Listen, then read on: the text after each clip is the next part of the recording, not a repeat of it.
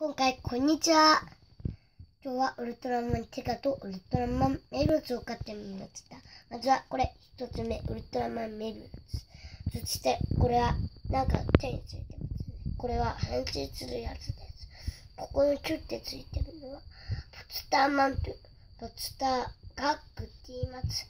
そして、ここにはお名前が書いています。メルツ結構弱いみたいだけど、なんか、すごい。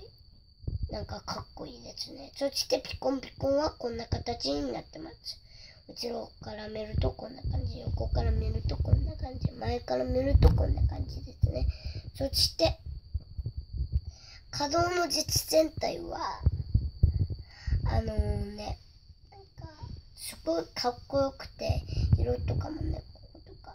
そして、ここだ。エン、エンテガントっていうかね、なんかちょっと名前よく知らないんですけど、そんな感じで。はい、次は。はい、次は、ウルトラマンティガ。ティガはね、結構強い。結構強いんですよ。そして紫と銀色と赤と黄色だ。混ぜていますね。そして、でも可動に自由に動かします。そして下にも同じように名前がついてますね。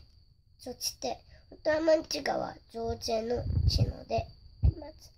そして、ここのね、こういうところは、伸ばつかれ穴と言います。そして耳もよくなって、ピカンピコンはこんな感じです。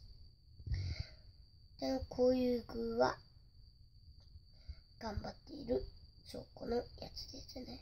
そして、こんな感じの形のピコンピコンは、こういうね、真ん中にこれだったら力だがあるから、ここからね、入っていくってことですね。はい。今回はウルトラマンの紹介でした。じゃあ、みんな、またねバイバーイ